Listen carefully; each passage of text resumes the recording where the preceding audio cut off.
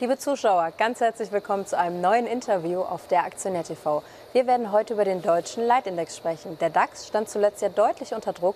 Am Freitagvormittag kann er dann aber wieder merklich zulegen. Wie die Reise weitergeht, bespreche ich jetzt mit Thomas Gebert, dem Autor des Gebert-Briefs. Herr Gebert, wie schön, dass Sie uns zugeschaltet sind. Sie sind ja Experte und haben auch immer Ihre Kurzfristanalyse in Ihren Sendungen bei uns angewendet. Jetzt interessiert uns natürlich, wie geht die Reise beim DAX weiter? Ja, hallo, Frau Anders. Ich freue mich natürlich auch, wieder bei Ihnen in der Sendung zu sein und begrüße natürlich auch ganz herzlich Ihre lieben Zuschauerinnen und Zuschauer. Ja, dann schauen wir uns das Trauerspiel einfach mal an. Und wenn wir uns da vielleicht mal den Kursverlauf angucken könnten, in der Kerzendarstellung seit Anfang des Jahres. Man beobachtet oder ich beobachtete einen ungefähr 30-tägigen Börsenrhythmus, auf dem sich die Stimmungsschwankungen der Anleger etwa abspielen. Also ähm, gute Laune hält nicht immer an, irgendwann ist die mal abgefrühstückt und auch äh, Panik und Schreck, äh, das lässt auch wieder nach. Und die wechseln sich ähm, seltsamerweise mit in bestimmten Zeitkonstanten ab. So habe ich zumindest den Eindruck. Und jetzt gucken wir mal diese, diesen 30-tägigen Rhythmus seit Anfang des Jahres, schauen wir uns mal an, zwischen den Punkten A und B. Da konnte er nach dem ersten Tief im A, ein Ausverkauf, ähm, konnte der DAX nicht wirklich Höhe gewinnen. Das ist eigentlich ein schlechter ein schlechtes Omen, wenn der in der eigentlich freundlichen Phase von der äh, Gefühlsprädisposition her hätte steigen sollen, nicht richtig nach oben kommt, dann wird es in der zweiten Hälfte dieses, dieses Taktes äh, etwas übler und dann verlor der ja auch deutlich der DAX. Zwischen B und C war es dann ein bisschen Halbkreis, was er dann im, im ersten Takt deutlicher verloren hat, hat er dann beim Anstieg äh, vom äh, Punkt B aus dann wieder äh, gewonnen. Und zwischen ähm, C und D hat sich auch kein richtiger Halbkreis ergeben. Da waren zwei kurze Einbrüche, das waren äh, jeweils äh, drei schwache Tage mit, mit, roten Kerzen, die von der Nasdaq ausgingen. Da waren die äh, Technologiewerte sind da unter Druck geraten. Dieser ungefähr 30, 30 börsentägige Rhythmus, der gewissermaßen Prädisposition der Anleger, wird natürlich überlagert von externen Ereignissen und da kam aus den USA Störfeuer, wo natürlich die Börse auch darauf reagiert. Dann hm, schauen wir uns den nächsten äh, Zyklus an, den nächsten Tag, der dann äh, muss ich gerade mal äh, schauen, wie ich ihn äh, nummeriert habe. Dazu müssten wir aber vielleicht nochmal zurück auf Bild 1, wenn ich es richtig sehe. Können wir noch zurückschalten? Ja. Äh, zwischen, äh, Entschuldigung, wenn ich den Blick abwende, ich musste gerade mal hier äh, drauf gucken. Zwischen äh, äh, den Punkten D und E war es auch kein richtiger schöner Halbkreis. Da kam die Stimmungsverschlechterung zu spät. Da ging es eigentlich nur zehn Tage nach oben. In der Regel geht es 15 bis 20 Tage, hält sich ein bisschen der freundliche äh, Takt an. Und dann kam die Eintrübung zu früh. Das kam auch wieder von der Nasdaq, das Störfeuer. Der DAX, der Nasdaq stürzte 10 Prozent. Die äh, US-Technologiewerte wurden ja regelrecht zusammengefaltet. Und dann von, von E bis F äh, ging es dann auch freundlich los und wir hatten auch eine lange freundliche Phase. Und dann wurde es ein bisschen schwächer gegen F hin. Also so sieht das charttechnische Bild aktuell aus, Herr Gebert. Wenn wir jetzt schauen in die nächsten Wochen, der DAX gilt ja statist, äh, der September gilt ja statistisch gesehen als schwacher Börsenmonat, zumindest für den DAX. Wie geht es denn weiter? Welche Marken haben Sie im Fokus jetzt? Also zunächst mal, wenn wir uns dazu jetzt das Bild 2 angucken können, da ist jetzt die jüngste Vergangenheit des DAX etwas größer raus, äh, etwas größer ähm, rausfotografiert oder rausge, ähm, dargestellt. Also erstens äh, vermute ich, dass der September gar nicht so schwach wird, wie, wo ich komme ich gleich zweitens darauf zurück. Ich gehe nicht so sehr nach Kurshöhen, sondern nach Zeiten. Ich, ich gucke mehr auf den Rhythmus und die Stimmungen, die zu bestimmten Zeitpunkten auftreten und nicht so nach Kurshöhen. Und deswegen ist für mich so der Takt wichtiger. Und wenn wir den uns jetzt mal genau angucken, die, den letzten Takt zwischen E und F, da war ich an dem Tag mit dem schwarzen Pfeil Teil auch bei Ihnen in der Sendung und vermutete, dass es zunächst nicht mehr deutlich weiter nach oben gehen würde, weil wir schon diesen Anstieg der freundlichen Phase, der, der vom Tiefpunkt aus gesehen schon hinter uns hatten. Also 20 Tage ging es schon nach oben, das ist dann auch meist so das meiste, was kommt. Und dann hatte ich eher darauf gewartet, dass wir einen Rückschlag in etwa 30 Börsentagen Abstand zum letzten Tiefpunkt E bekommen würden und den würde man erkennen an einer großen roten Kerze und oder einem Fenster nach unten.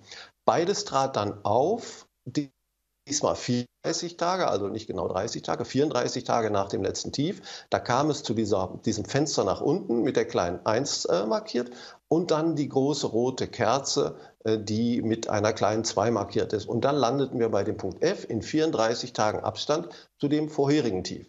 Das wäre aus meiner Sicht eigentlich das nächste zyklische Tief von der Befindlichkeit der Anleger gewesen. Der DAX versuchte auch den Anstieg nach oben. Zwei, drei Tage ging es hoch. Und dann kam dieser Auftritt von äh, Jerome Powell, in dem er äh, doch weiter deutliche Zinserhöhungen ankündigte, die den jüngsten Rutsch jetzt verursacht haben und einen erneuten Ausverkauf, jetzt mit klein, äh, mit klein 3 äh, markiert, die große rote Kerze und klein 4 das Fenster nach unten. Wir haben jetzt also einen erneuten Ausverkauf, der aus meiner Sicht jetzt den Tiefpunkt ähm, markiert haben sollte. Wenn solch ein externes Ereignis in einer eigentlich positiven Phase des 30 börsentägigen Rhythmus auftritt, ist die meist vorübergehend. Also von diesem extern bedingten bedingten Rutsch, den wir jetzt gerade erlebt haben in den letzten Tagen, ähm, glaube ich, wird sich der DAX relativ schnell erholen. Wir sind nämlich noch zwei bis drei Wochen in der freundlichen Phase dieses durchlaufenden Taktes. Also ich würde jetzt mal sagen, ich tippe darauf, dass wir in den nächsten zwei Wochen, zwei bis drei Wochen, eine Erholung bekommen und höhere Kurse und würde sagen, wir schlagen dem September ein Schnippchen. Und ich möchte auch hier immer wieder gerne mich also festlegen und nicht sagen, kann so sein, kann so sein. Dafür brauche ich ja nicht in Ihre Sendung kommen, sondern sagen, äh, was ich meine, was kommt und auch aus welchen Gründen. Und das ist dieser 30, 30 börsentägige Takt, den wir jetzt hinter uns hatten, den Tiefpunkt und ein Ausverkauf. Und danach kommt in der Regel eine freundliche Phase. Und ich nehme an, die haben wir jetzt vor uns. In den nächsten zwei bis drei Wochen tagen ja auch die Notenbanken. Die EZB-Sitzung steht nächste Woche an. Einige Volkswirte rechnen sogar mit einer Zinserhöhung. Die Fed hatte sich ja auch in Jackson Hole restriktiver, aggressiver ja, positioniert, auch Zinserhöhungen in Aussicht gestellt. Das findet dann auch in drei Wochen ungefähr statt.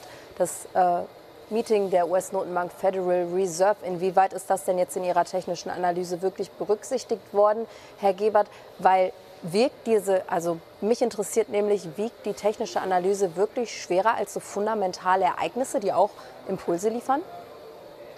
Äh, nein, natürlich nicht. Aber es hat keinen Zweck, mich, mir über diese Ereignisse Gedanken zu machen, weil ich ja nicht weiß, was kommt. Ist er vielleicht ein bisschen, ähm, ist er vielleicht ein bisschen schlechter ähm, drauf und kündigt mehr Zinserhöhungen an oder ist er ein bisschen äh, ein bisschen, gibt sich ein bisschen friedfertiger, das weiß ich doch alles nicht. Ich muss mir doch jetzt keine Gedanken machen, was als nächstes an Informationen kommt. Ich versuche nur, die Prädisposition des Anlegers herauszufiltern und in welcher Phase er bevorzugt freundlich äh, gestimmt ist und in welcher er äh, zur Angst neigt. Und das ist eigentlich das Einzige, der, der, die 30 Tage und die großen Kerzen oder Fenster nach unten oder oben, wo ich Stimmungsextreme diagnostiziere. Auf alles andere habe ich keinen Einfluss. Insofern wird das ähm, kann ich das nicht einarbeiten, was da kommen wird. Und ich glaube, solange wir jetzt in der freundlichen Phase sind, äh, Sie haben ja gesehen, das hat sich überlagert. Dieses, äh, dieses externe Ereignis ist eigentlich in dieser freundlichen Phase, die eigentlich hätte beginnen sollen, hat den DAX nach unten gedrückt. Aber ich glaube, dass sich die freundliche Stimmung dennoch durchsetzen wird, weil diese Prädisposition, meine ich, äh, sich letztlich durchsetzen wird. Auf, auf Ereignisse, die, die kommen werden und vielleicht so oder so ausfallen, äh, kann ich ja jetzt irgendwie nicht, äh, kann ich ja jetzt nichts zu sagen. Die, die kann ich ja jetzt nicht abwarten. Also deswegen versuche ich eben, das aufgrund der Bestimmungsbefindlichkeit der Anleger hinzubekommen, wie man am besten jetzt positioniert ist. Das wollen wir am liebsten von Ihnen erfahren, Herr Gebert. Wie sollen Anleger sich jetzt positionieren? Also ich glaube, trotz des Septembers, dass wir jetzt zwei bis drei äh, leicht freundliche Wochen bekommen, dass es ein bisschen nach oben geht. Aber äh, Ihre äh, geschätzten Zuschauerinnen und Zuschauer sind sicher auch interessiert, was ich meine, wie es ein bisschen längerfristig sich entwickelt wird. Und da haben wir in der, äh, bei der letzten Sendung uns darüber unterhalten, dass wir eine ungewöhnliche Situation haben, dass wir Inflation in der Flaute haben. Aber wir haben in den USA Rezession und eine hohe Inflation und auch bei uns auch. Das ist eigentlich sehr ungewöhnlich. Normalerweise Beispielsweise entsteht Inflation im Boom wegen zu hoher Nachfrage. Jetzt haben wir, die Nachfrage ist eingebrochen und eine hohe Inflation. Und das ist diese ungewöhnliche Situation, die dazu geführt hat, dass sowohl Anleihen, Aktien und Gold im ersten Halbjahr gefallen sind.